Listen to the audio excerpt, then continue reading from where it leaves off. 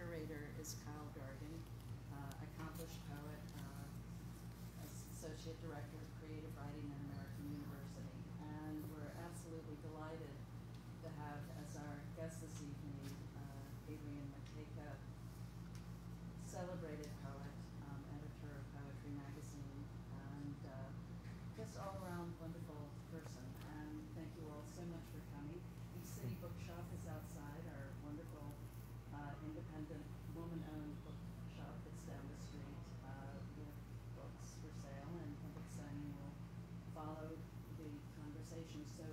join me. Oh, and please turn off your phones if you would.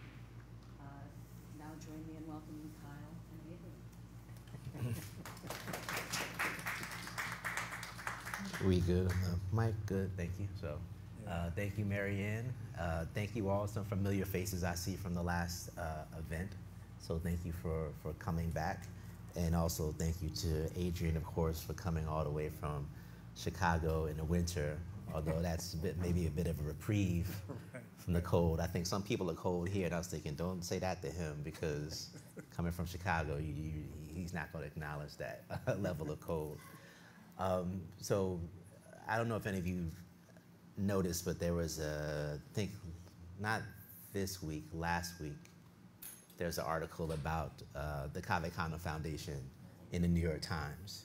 And, uh, you know, I spoke to the reporter um, for about a half an hour about, you know, various things. And of course, the one thing they quoted me on was talking about playing basketball with Terrence Hayes.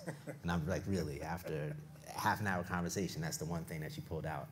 Um, but what's funny about that is, is you know, playing playing basketball at Cave Canem is also one of those first places where Adrian and I uh, interacted because I think that was the place where we had that some of those games. I always think it was you, Terrence, Daniel Wyman, um, Ross.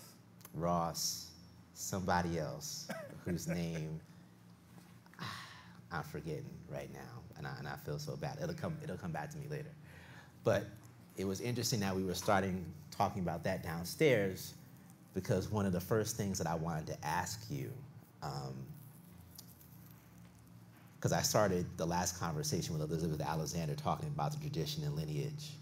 Um, and maybe a way of talking about that with you is to ask you what would be or who would be in your poetry starting five.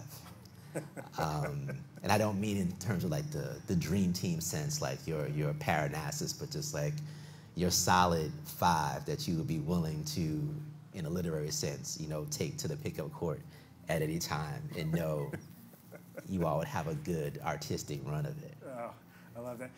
Thanks, Kyle. Hey, it's so good to be here with all of you. Thank you for showing up. I love that we get to hear hymns too. I, I really appreciate the way that you all are using this space. It's, it's beautiful and it's incredible. Um, when, when Kyle said that, I'll do it like this.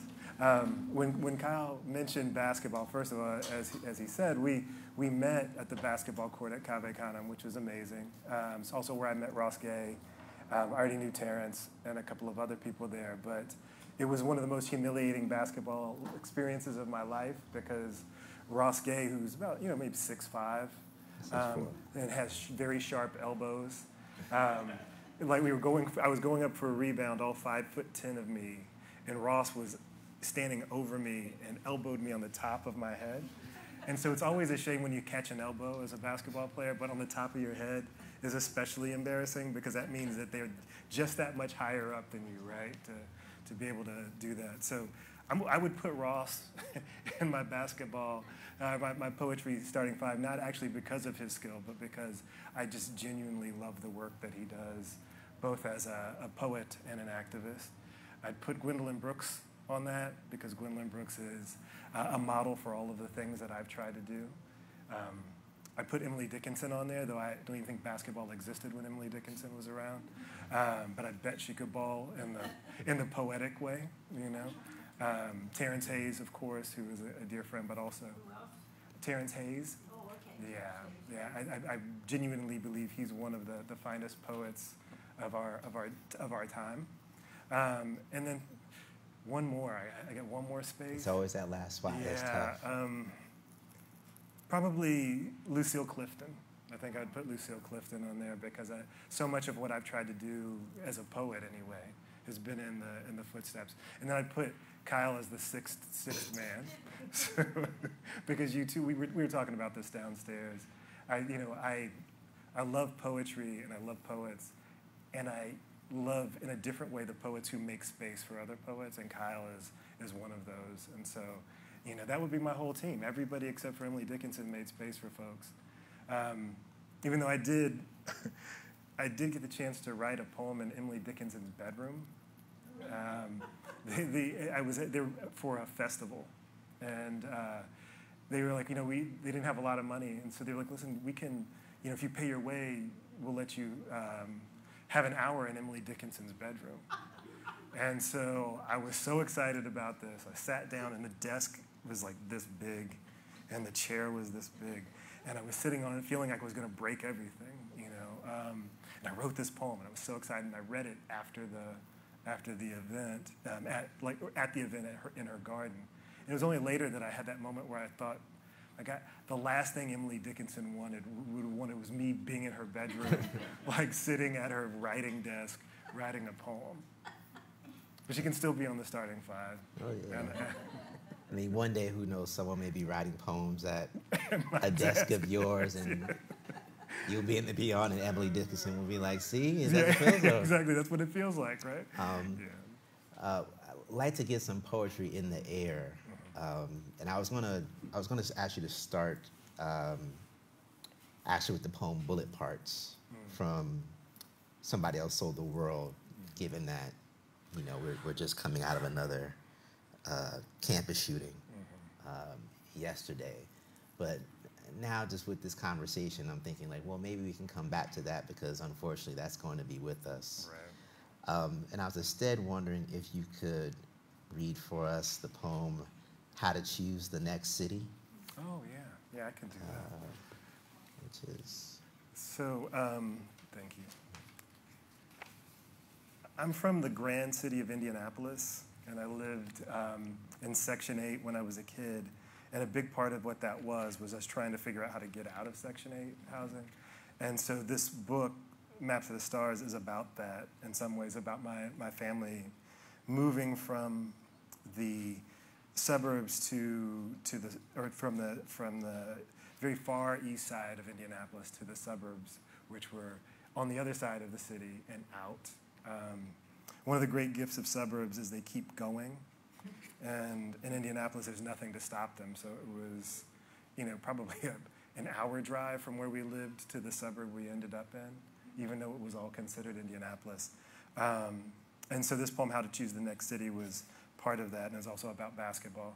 So um, in the poem, I mentioned this kid named Garrett, who was my best friend, but also my nemesis when I was in third grade, fourth grade, when these poems are taking place. How to choose the next city. On another warm winter day, I'm stuck out on the court's fringes again, like Garrett's mother after she tried to run over her boyfriend while he stretched out near half court. She missed him, but left the Chevy there anyway, idling and popping until the gas ran out. And I should say this is a true story. This person tried to run her, her, her philandering boyfriend over while he was on the basketball court. So I'm going to go back up. She missed him, but left the Chevy there anyway, idling and popping until the gas ran out. We all laughed when her boyfriend rolled out of the way, then chased after apologizing for something. I'm out here, I'm on the outs again too. Follow through fingers hitched below my bottom rib like a name buckle made out of knuckles. Borrowed ball parked in my elbow crook in Indianapolis. Cracked backdrop of two, maybe three taller buildings. Unrepentant above the tangle of empty trees where the older ballers smoked a joint between runs. My other hand wrapped around the austere questions of cities we would have moved to if I could only grow and get my jumper right. Cincinnati, Chicago, almost Brooklyn, nearly Detroit, away from Indiana nearsightedness, away from hooping in slippery church shoes and getting picked the one after last. Always next, always stuck on the crest of the court while the real ballers dribbled and jawed between relentless smack talk about busted jumpers, knockoff shoes, mamas and their respective fatness, all tangled in the sweaty pageantry as glimmering, as, as sticky as the mall jewelry they borrowed from each other to shine up for the girls who were on the side and pretending they weren't watching. A little city of gleaming gallantry, and I was too broke to get a spot in it. I'm sorry that I read that quickly. I, these words are coming back to me because I haven't looked at this book in a while. This is muscle memory. Yeah, yeah, yeah. Um, so one of the things I, I, found really interesting about Map of the Stars, uh, at the poems in the book, is that the suburbs almost function like outer space, mm-hmm. right? Mm-hmm. Uh, the speaker is trying to sort of get out of Section 8 in the center city to another place at the same time they're aspiring to be up in the stars mm-hmm. too right mm-hmm. and i think this is true for you know a lot of your best poems it's like everything is happening at the same time like sort of the the magical the aspirational um, the very real material right um, it's all happening in the same place so at the same time when you have the speaker who is aspiring just to get out of the city which is a victory he's also sort of like losing his grasp on the stars at the same time. Um, and I guess one question I had, maybe, well, I think it's true for some of the early collections, but definitely your later work, it seems like there's always a fairly strong conceptual through line in the manuscripts. Mm-hmm. Um, and I'm wondering, you know, do, do you think of yourself as more of a poem to poem poet or are you like a project book poet? Um, and if it is the latter, if you are more of a project book poet, is that more for you or is that more for the reader? It's a really wonderful question. I think during the time that Kyle and I have been trying to write, and, and you know, everybody in here has been reading poems or writing them. There's been a shift, I think, from collections that were like this happened on a Thursday. Now here's a poem about a flower.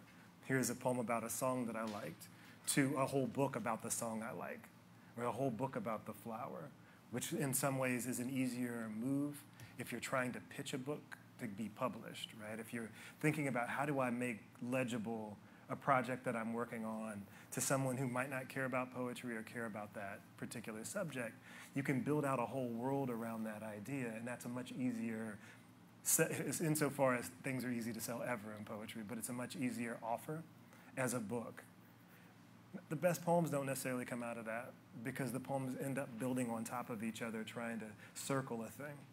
Um, and so I, I think of myself as someone who writes poems based on the occasion or the moment.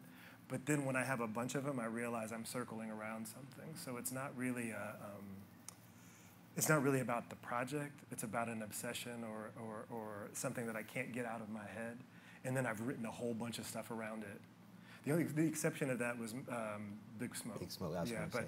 but all the rest of them, like when I started writing Map to the Stars, I thought I was writing about learning to break dance and wanted to be a rapper when I was a kid, but somehow that smashed right up into I, I wanted to be an astronaut, but I'm so nearsighted that that wasn't an option, you know. Um, and we were also really poor, so and I'm bad at math. There were a million things that were going to keep that from happening, but I didn't know that when I was in fourth grade, you know. And so I think that that that's when I started to realize, and maybe that's what you mean, like sort of in the later part of things, I started to realize that it's okay to just keep circling a thing. And maybe some people use the idea of a bigger project as their circle, but for me, it's just, if it keeps coming back to it over and over again, that's something I need to put some pressure on. You know? okay. Um, and then, but again, though, the Big Smoke was totally different from the rest. Yeah, and I, I do want to spend some time talking about Big Smoke because I, I, think it does um, build on itself so much. Yeah uh, in a way that it doesn't feel as though, oh, there are poems that are just here because they filled this role in the manuscript. It's like it's all kind of building on this poetic exploration of Jack Johnson's life mm-hmm. and sort of the the racial and political milieu that he lived in. Right. Um, so definitely want to get there, but it, there's a little bit of, the, of, it in that poem. I wonder if you can get a, a bit more of the space element um, yeah. out of Map of the Stars before we, we move forward. And I think to that idea of like, you know, it's inescapable for you, but also for someone who's even an astronaut. So you, you go into that story, of the first black astronaut. Oh yeah, yeah. Um, and the fact that right, like he's at NASA, going into space, Mm-hmm. But at the same time, he's still two feet on the ground as a, a black man in America. Mm-hmm. So the, the poem that I'm thinking about is um, Ascendant Blacks. yeah, yeah. And So yeah, yeah I'm, I'm really glad that, that, that you mentioned this. So, so the first black astronaut was named Guion S. Bluford, and um, he went to outer space on August 30th, 1983. That's actually in the poem, so I'm just talking over myself, right? But um, at that same time, Purple Rain was the biggest album uh, in the world and also the, the, the best-selling movie, and I wanted to be like Prince when I was a kid, so that pops up inside of the poem too, which is why I'm bringing that up. Um, when I came to my editor with this, the idea for this book, um, and I showed him some of the poems, he said, "You want to write a book about Indianapolis and outer space?" and I was like, "Yeah, and blackness, and also in rap music." And he just he hadn't read the poem, so he didn't know what I meant. And then this poem was the one he read, and he was like, "Oh, okay, I get it now. I get what you're trying to do." I wanted to write a book that treated Indianapolis the way that New York poets treat New York or Chicago poets treat Chicago like you're supposed to know this. You're supposed to know that in this poem I mentioned Martinsville, which was the national headquarters of the Klan at the, in the early 20th century. And Kyle and I both had to drive through this town to get to Bloomington, Indiana, to, to the university. And so it was like one of these places where it was inescapable. And everybody in Indiana knows that it's still one of those grand pockets of racism, but nobody wants to talk about it. You don't stop for gas. yeah, you don't stop for gas. That's like the first rule you learn of survival if you if you're at Indiana University is if you're coming through, you don't stop for gas. There are a lot of places you can stop before you get to Martinsville, but never there. All right. So ascendant blacks. The power was turned off again on Tuesday morning, and that at the first morning I got my curl, and Guion S. Bluford became the first black man in outer space. August 30th, 1983. I styled my wet frond like 1999 Prince, left side tucked behind the ear, dangling mesket and activator in the same eye I would have used to telescope the Challenger as it flew over Kennedy Space Center in the midnight habit of black men trying to get out of Indiana expeditiously. In Indiana, any yellow brother could be an on the fly prince if he opened his eyes like two afterburners and hung his lips just a little. Even on the east side, where we all felt better in groups. Even way over in Pike Township, where three pyramids rise as majestically as cranial lumps after a beatdown. Or in Martinsville, a town so precise with its epithet and buckshots, Bluford wouldn't even fly over the place in the daytime. So when I gave this to to my to the to them for copy editing and fact checking and all the rest of the very generous things they do, this thing about the pyramids there's a there's a uh, three buildings on the northwest side of Indianapolis called the pyramids, and they look like pyramids, but they're office buildings. They're awful. And they were right by where I used to play basketball at. So when I put them in a poem, the copy editors kept coming back. Are these the pyramids of Giza you're referencing here? I'm like, nah, man, the pyramids of College Park. But if you're going to do that, if you're going to treat a space like everybody should know, then I can't say on 86th and Michigan Avenue, uh, Mich- Michigan Road in Indianapolis on the northwest side because that's unpoetic. So I just have to keep going back and forth saying, no, not those, the ones in Indianapolis like it says. The whole poem is in Indiana. Why would the pyramids of Giza be there? But I don't mean that disrespectfully to that to that copy No, editor. Yeah, they're doing their job. They're doing their being, job. Being oddly literal. Um, so, in addition to just putting all of those subjects together Mm-hmm. In one piece, uh, for me, the thing about that poem is that as a poet, you use language to actually collapse them. Uh, so there's that line that always sort of catches for me. We're saying the eyes like afterburners, right? And it's it's there where it's it's like I, I often think of nowadays because we're talking so much about AI, right? Right. Um, that really, you know, metaphor is a cognitive hack, right?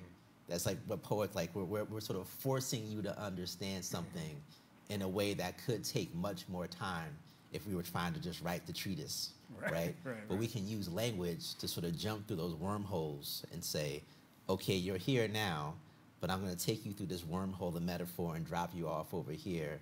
And mm-hmm. hopefully, I didn't scramble your brain too much. that you get it. Yeah, and even if you don't even know the beginning part of it or the end part, if we do it right metaphorically, all of it comes together in a way that, that has value, right? And has, has movement, like you're talking about. I mean, so much of what poetry does is transform and also transport, right? I'm a huge fan, we were talking about this earlier, I love space. Like, I love places, I love buildings, and the way that the architecture holds things. And metaphors are like a, a different kind of architecture that we can use to hold all of those ideas. I mean, I'm working from the assumption in that metaphor anyway, that, or that, that simile, that everybody knows who Prince is. And it's like one of those things that if you don't know who Prince is, I, there's nothing I could do metaphorically to help you, right? Like, so hopefully Afterburners does something. Like, you can imagine if you don't know who Prince is, who is like, if you've never seen his eyes with all his eyeliner and his, like, sort of, you know, big stares and everything, then you can imagine that anyway. And it'd be enough to carry it. And, um, and if nothing else, everybody knows that version of my mother got her hair cut like the Beatles after she saw them on the Ed Sullivan show, um, and then got kicked out of school because of it. But what she was trying to do was she cut it herself. What she wanted to do was she wanted to borrow that power from the Beatles, like borrow what she felt when she saw them, and the only thing she could imagine to do was to cut her hair. I think she'd be okay with me telling that story to people. Um, you know, she's she's a, she's a she's a fun one, but you know, we all in one way or another, especially in our youth, borrow things trying to figure out who we actually are. And I just was lucky enough to have somebody like Prince to be there in his high heels and makeup to try to ha- try to figure out like that's what I want. That's yeah, the power and I want. it's interesting because you know the figure in the poem, the speaker can try to borrow the power of Prince, right? But the actual astronaut can't take all the power of NASA wherever he goes. Yeah, it's not with them. You know, it's a, it was never that was never that was never bequeathed the guy in blue for it, and he's still alive. Um, and at some point in the process of this, we thought about trying to like contact him to see if he wanted to talk about it. And when we were trying to do it, we found his agent and his speaking agent and everybody else, and we couldn't get to him. Mm. You know, just to say, hey, I'm writing poems and you're in them. I'd really like to talk to you.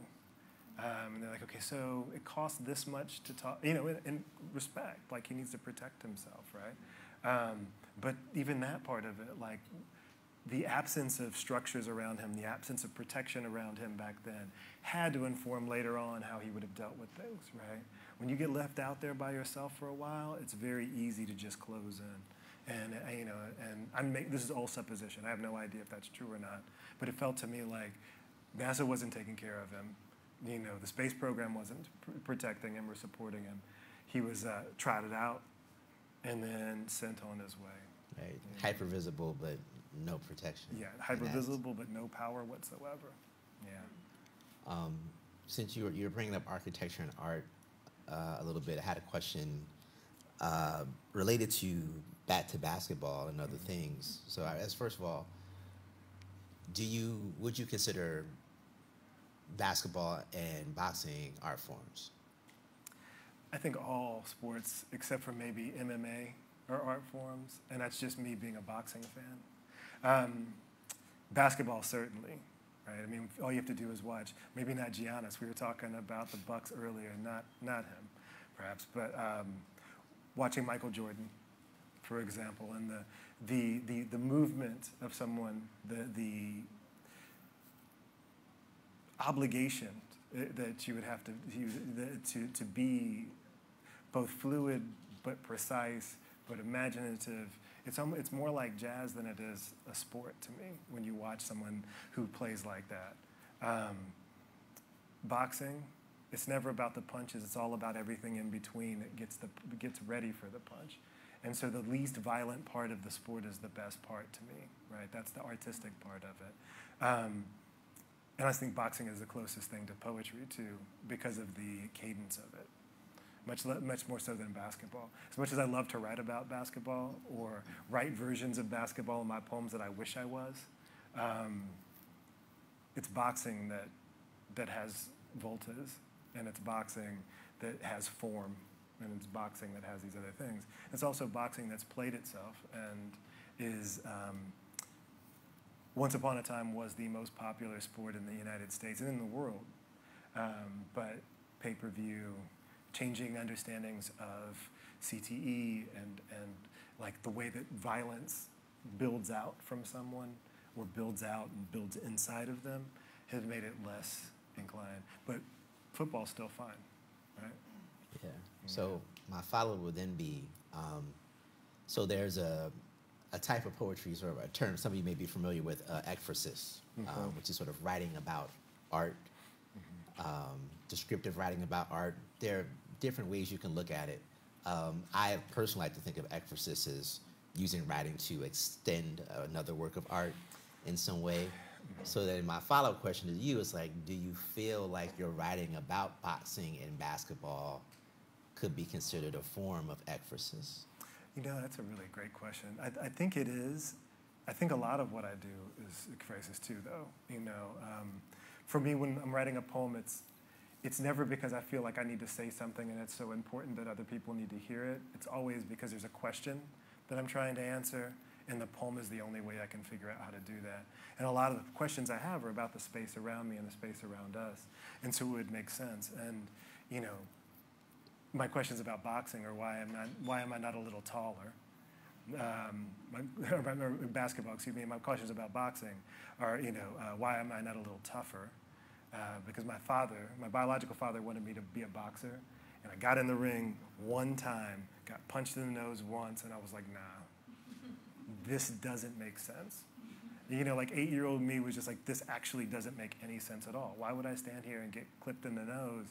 For what? And this is going to happen again in a little bit? no, I'm good, right? But looking at those sports as a, um, as a springboard for a larger conversation or something that can transform the way I think about the world, absolutely. I mean, I, so much of my life, there was a point before my, around the time my daughter was born, where I think that there hadn't been more two, than two or three days in 25 years that I hadn't been on a basketball court. Like it was just what I did. It's how I coped. It's the thing that brought me the greatest joy. And then, you know, so it was the lens through which I was dealing with the world, whether I understood it or not. And I never wrote about it though, because the person who I had to leave out of my basketball starting five plus one was Yusef Komunyakaa. And Yusef wrote a poem called Slam Dunk and Hook. And that was it's still the best poem about basketball that I've ever read, except for Ross's Be Holding. And that's doesn't doesn't work as it's a book length poem, so that doesn't really count? Um, but when I read what I read the way that someone else could approach this thing, the way that someone else could codify this this um, this art disguised as athletics that I that I loved so much, it, you know, I didn't feel like I could write about it again, but I always had it in the in the forefront. You know, it really was 28 years after I read Slam Dunk and Hook before I put the word basketball in a poem. 28 years. That's how good Yusef's poem is. Anybody who likes basketball, well, if, you should read Yusef Komunyakaa anyway if you don't haven't read his work. But anybody who's interested in this, Slam Dunk and Hook is genuinely one of the finest poems I've ever read, and happens to be about basketball. Yeah. And what's interesting about it is I, I don't, I mean, I sort of know Yusef, of course, like as an older man. Yeah. Um, feel like I've never had a conversation with Yusef about basketball. or if I were to see him, right, it's Yeah. not the first thing that comes to my mind. But I know he wrote that poem. Yeah. And that's really all I need to know. yeah. Um, and it, it- is a great poem. You can sort of look it up online uh, when you get home if, if you want to. Uh, so to shift to, to boxing a bit, because we know you, you have this book, The Big Smoke, which was a, a finalist for the National Book Award. But you also have the graphic novel too, um, thinking about ekphrasis, right? Sort of taking the Jack Johnson story, sort of language and art in a different direction.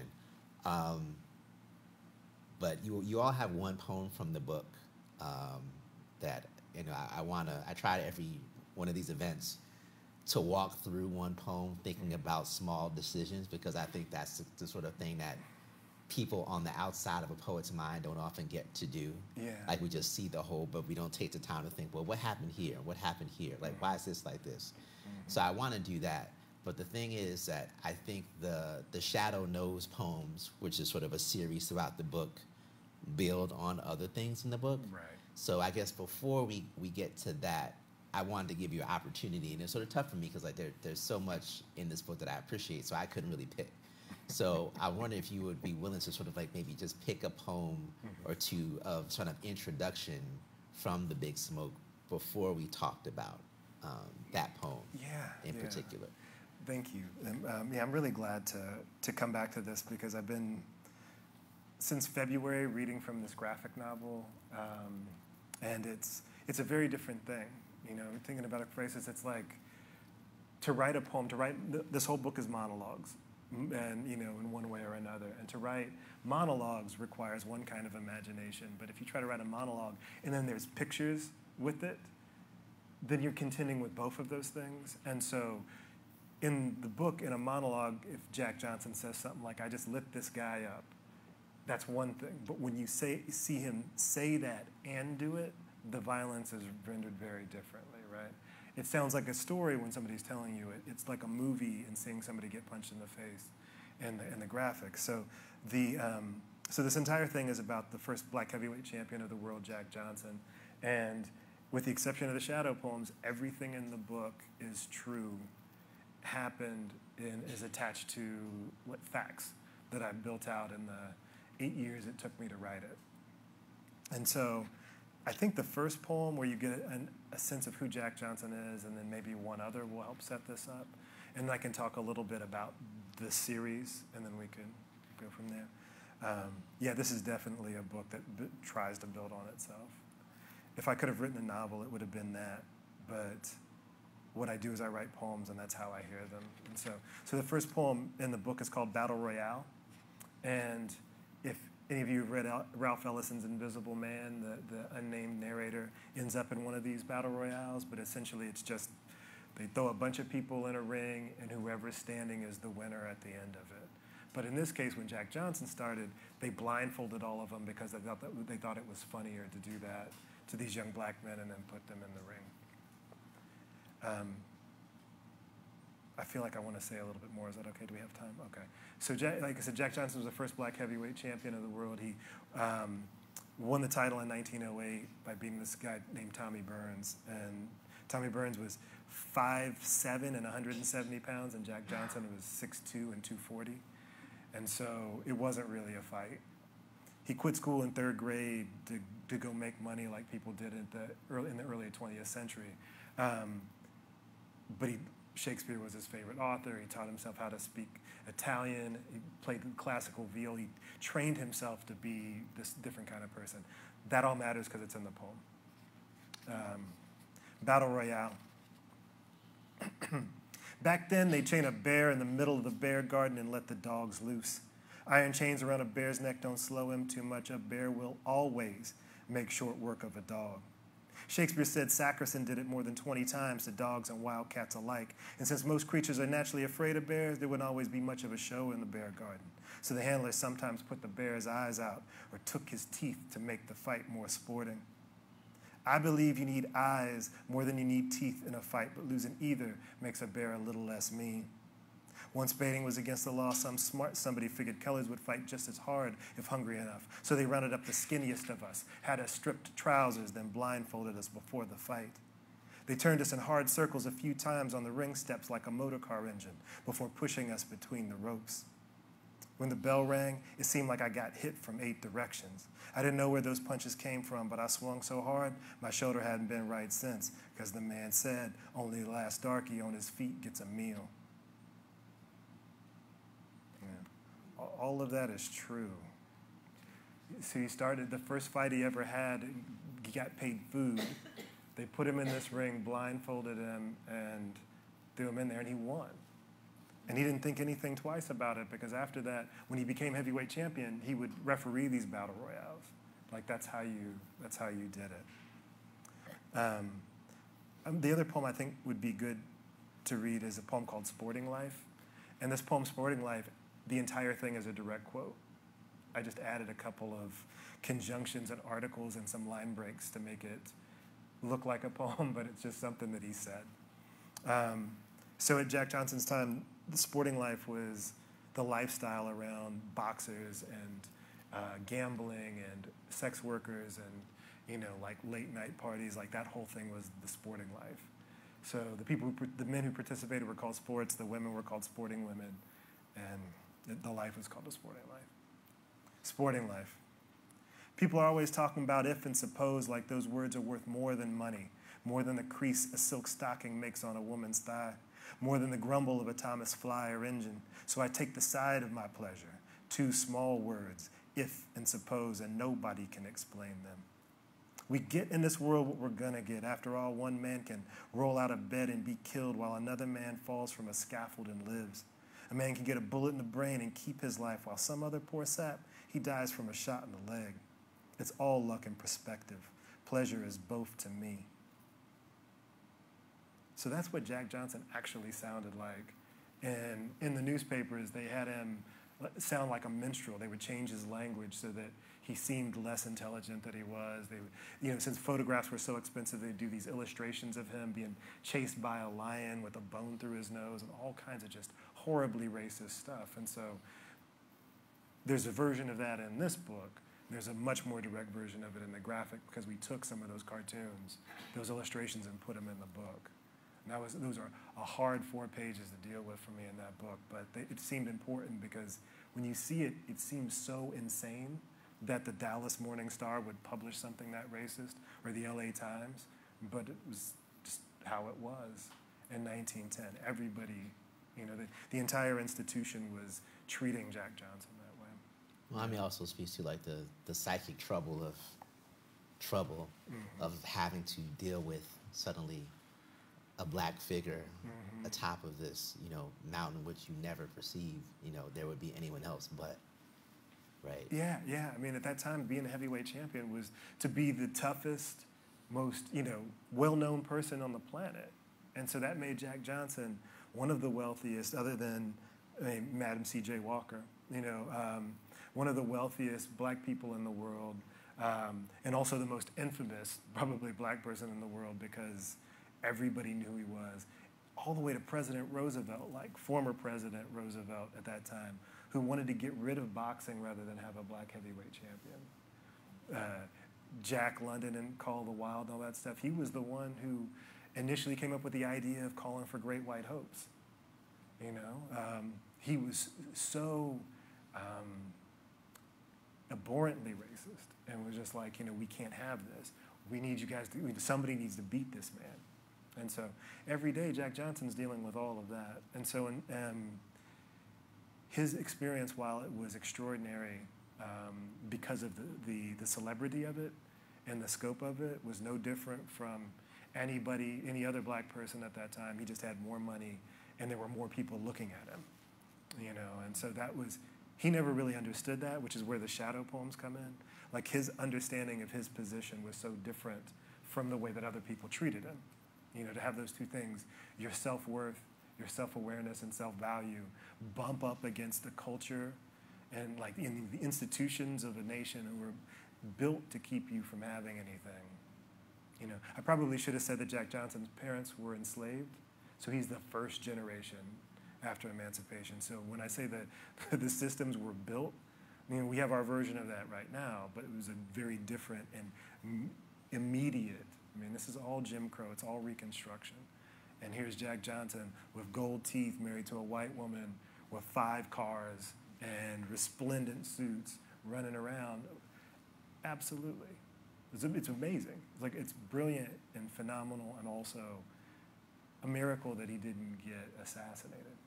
You know? Well, I guess on that, that note of the double consciousness, let's get to the, the shadow yeah, uh, notes yeah. poems. Um, Yeah. So this is the last one in the book. Um, so there are a series of these throughout the book. This is the last one. After his after his major fight, and sort of between that and his sort of eventual, want to say downfall, but just sort of like the winnowing sort of of his career Yeah. um, and, and prowess. And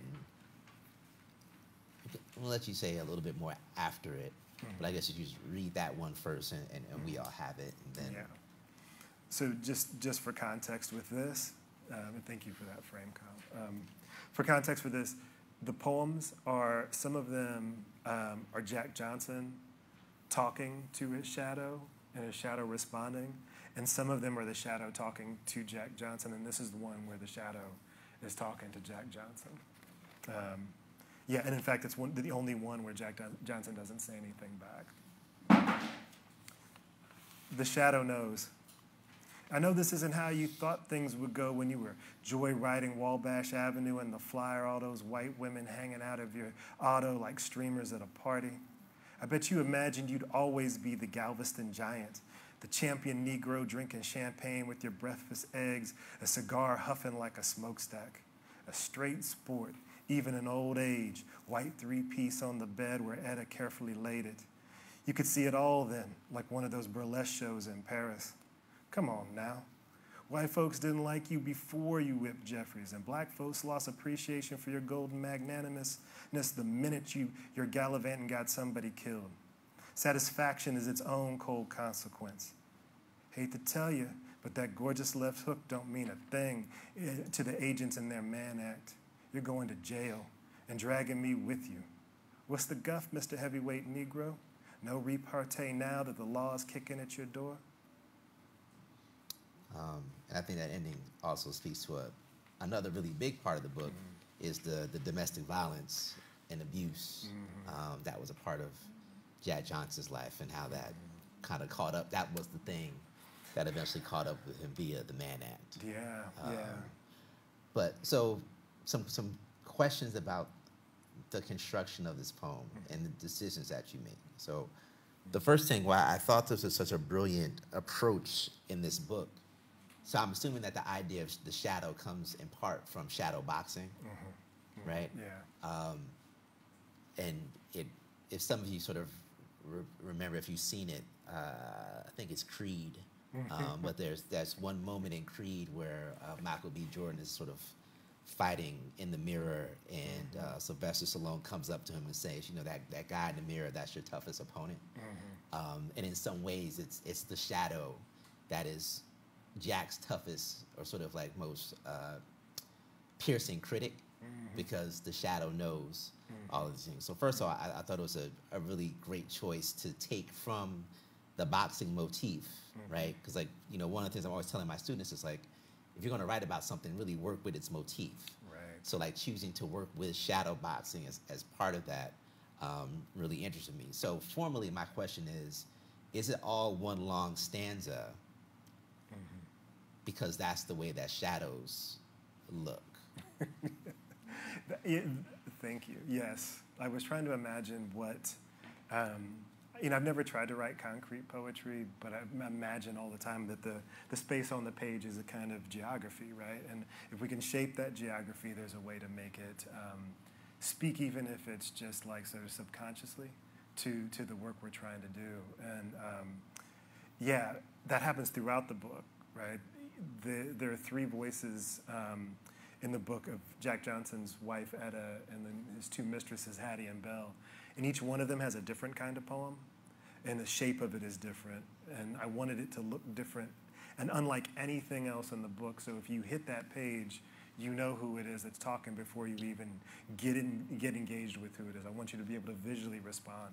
And so the Shadows poems look a little bit like Jack Johnson's, but they're thinner and longer, and that's what I was trying to imagine. But I think you're the first person who's ever brought that up. So, yeah, um, that is it. I wanted them to look like the long shadow that you have to fight. Okay, I could I can see that.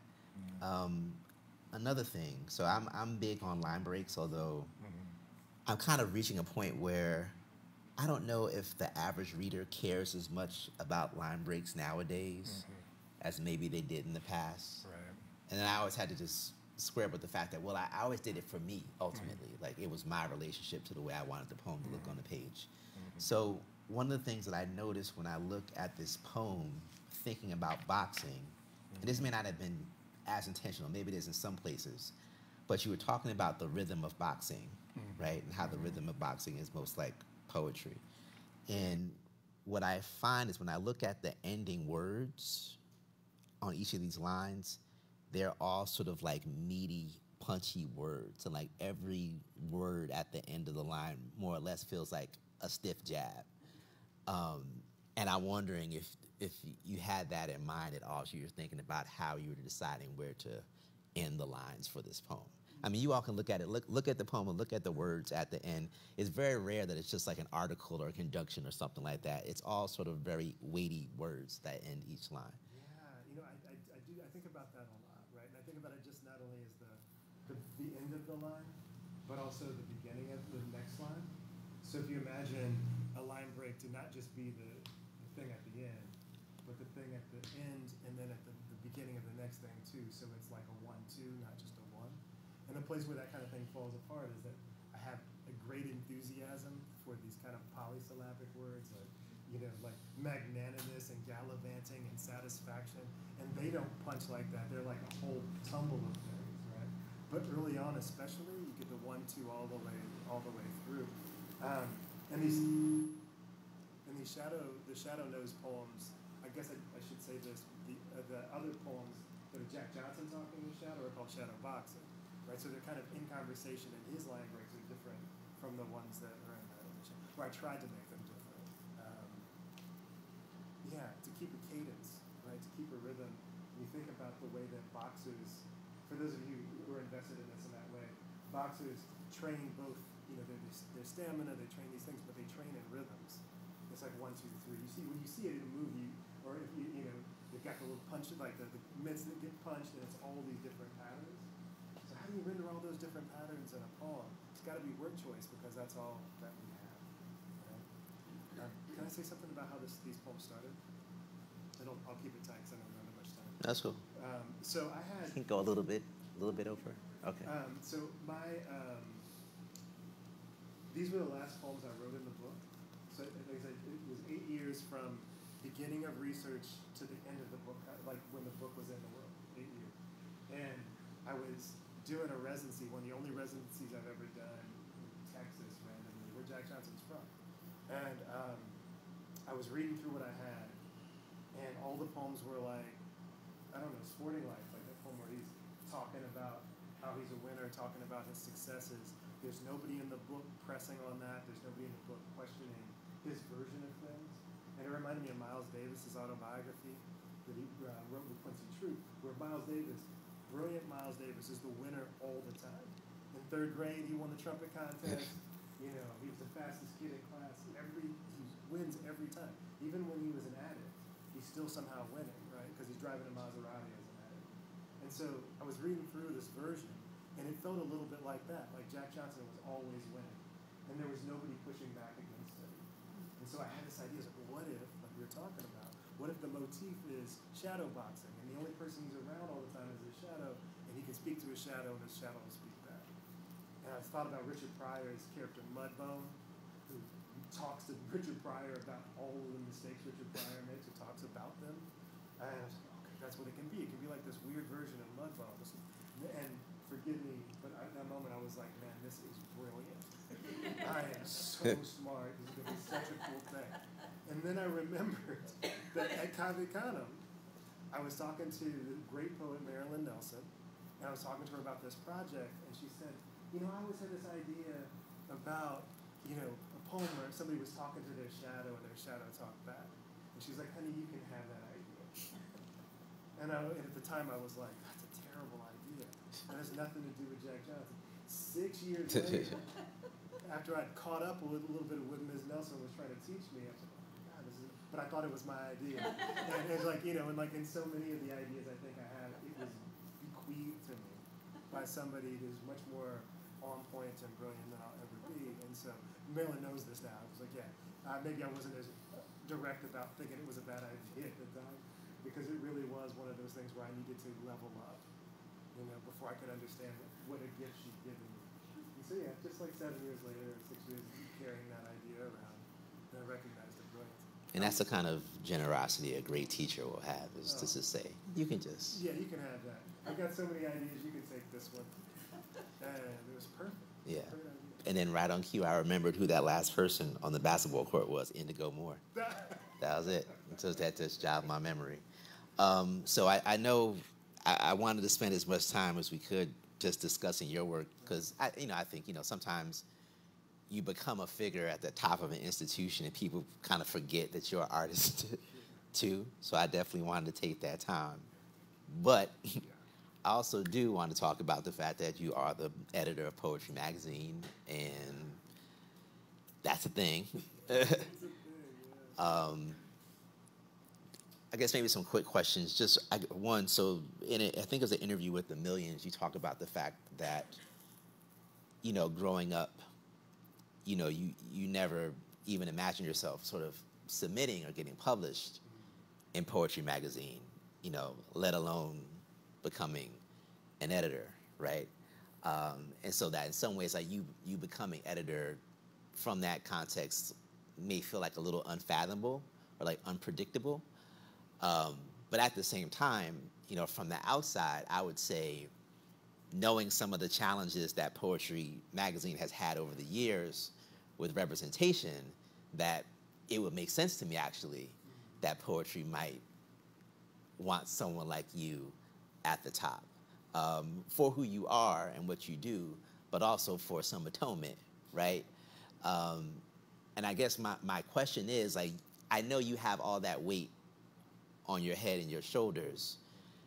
And so, as Adrian Matejka, editor of Poetry Magazine right now, how do you balance maybe that expectation to correct with sort of doing the kind of work that just from this moment we're in right now, you imagine you want the magazine to do going forward, which may not necessarily be as directly concerned with that type of correction. Yeah, yeah. Thank you for framing it that way, Kyle.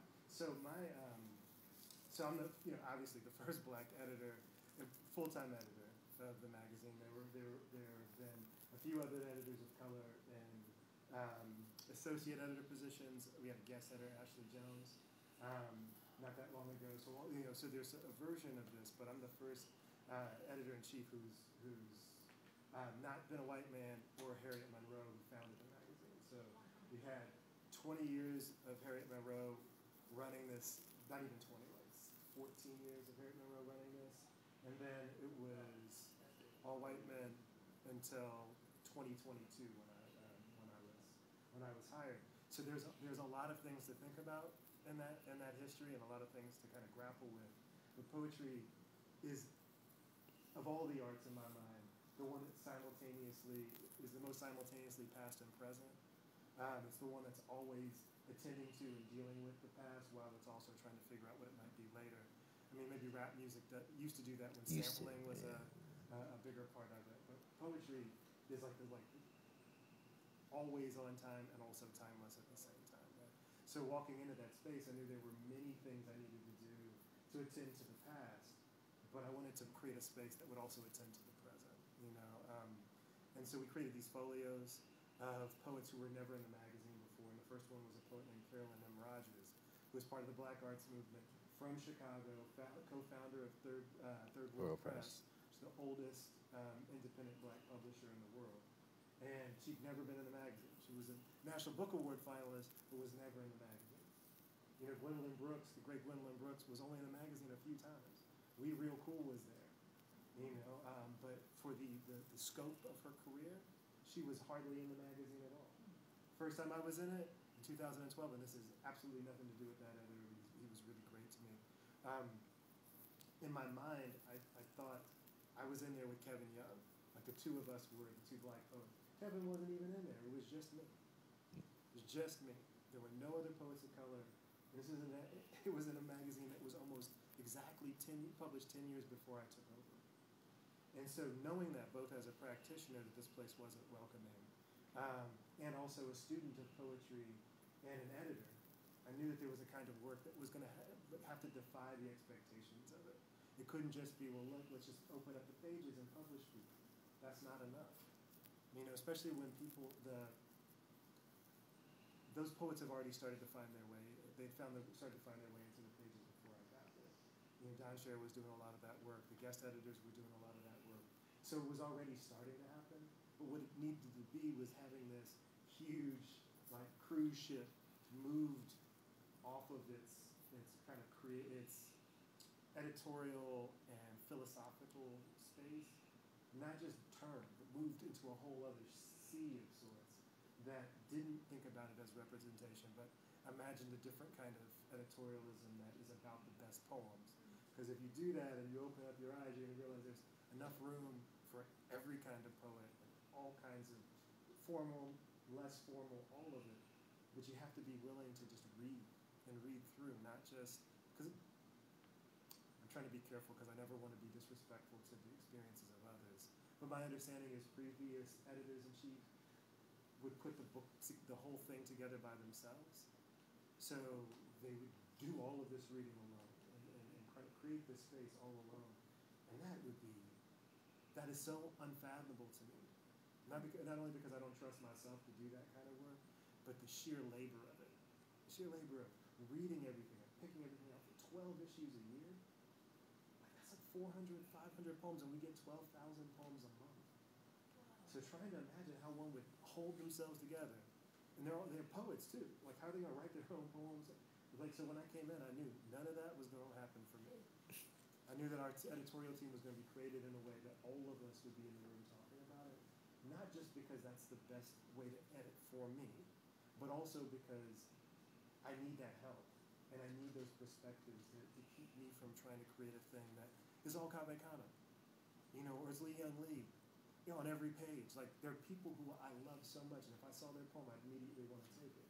But sometimes those aren't the best poems. Sometimes those poems mean something to me because I love their work. Or, you know, and I've got other people on my team who maybe don't love their work, so they see this as maybe not the best offering from that poet, and we need to ask for more. You know what I mean? That's a really long-winded answer. I'm sorry. No, no. I It's, think um, it's not just like changing the direction; it's like reorienting the thing entirely. And that's not something. It's um, not even to two years yet. It's like been like 18 months. Um, it's going to take the. I told him five years for my time there because I got to get back to poems. It's going to take the entire five years, at least, to do the kind of thing that I'm trying to do in terms of just fundamentally changing the space. And I've got all the support I could ask for in the building, all of that. It just it's going to take time. You know, it's going to take a lot of time. So, everybody, know that if you want to submit, this is a good time to do it because we're all reading, all thinking about the work that you're doing, we're thinking about it individually as you, not whether or not we read your work or not.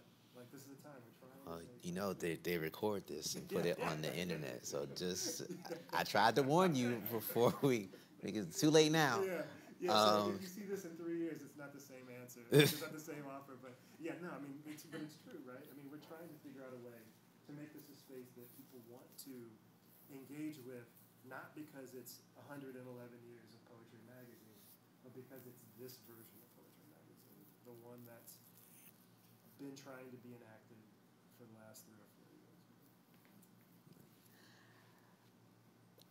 I, I have one more question, but I, I know people are only expected to be here till eight, so I don't want to keep. All right, so last question.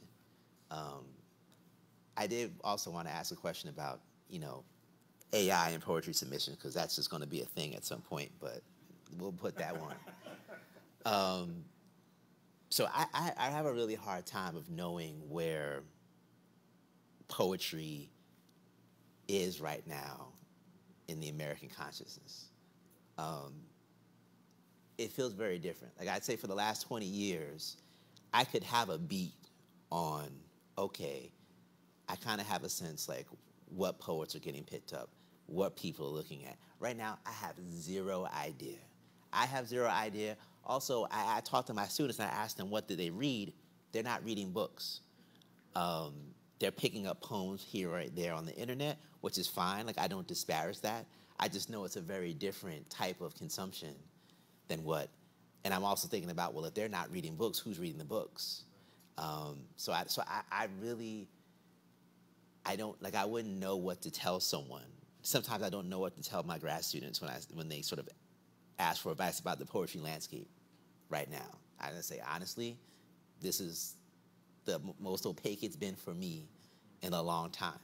So I'm curious for you as someone who is up there, right, and seeing, as you're saying, you know, so much, right? Just where, where, where, where or what type of poetry do you think has the nation's attention right now? Like, what, what do you think is coming? What do you think is in the moment? Just like, what is it? I'm, I'm, with you. Um, I, I felt that same way. I felt that way since I walked into the building. That there's so much happening. There are more poets writing right now than there have ever been. These are just statistical facts. More people reading poems. and more people submitting poems. This is just in this moment, like poetry feels like it's blossoming in a different kind, in a different way, right? Because there's so many people trying to do it. And at the same time, we have fewer resources supporting our art than we ever had. We have fewer people buying books and reading those books, but they're writing. So there are a lot of there are a lot of kind of conflicting factors happening. Um, we get something like five million visitors to the Poetry Foundation archive a month, um, unique visitors. And Robert Frost is still the number one like you know poet who people go to. Gwendolyn Brooks, um, Maya Angelou, and Rudyard Kipling for If. Know, remember that that poem? That poem is still like in top five of things that people go to. I'm mentioning this because it's disaggregated. Like they're not going to the book that, that Maya Angelou. They, they go to that one poem. And some of that's because people are teaching those one poems, but it's the same way people buy music. It's the same way that they, they, they consume um, visual art. You know, nobody goes and looks at the big folio of a, of a painter's art. They go and find the one piece that they, they admire. And I think the difference is, and this is not even, a, it's not a critique, it's just an observation, that, is that the way people find work is different, and so the way they consume it is different. When you had to pick up a book or get one of these from a teacher or a friend to be able to find a poet, that, there's a different excavation in that than there is when you know if you look it up on the Poetry Foundation, there's you know there are three or four poems by that poet, and those are the ones that people know. You know, um, in some ways, I think that it, it, it, it's it's limiting unless you have the, the, the like inherent curiosity to want to go and do that other kind of work, or have been taught to do that other kind of work because they don't always teach it that way anymore either. Um, but what it's led to is poetry that I think starts with identity in a different way than it used to. I think that there's a kind of, uh, you know, there's, there's a different kind of politics. You're saying poetry that starts with identity. Yeah. Um, oh, the microphone's not working. It's,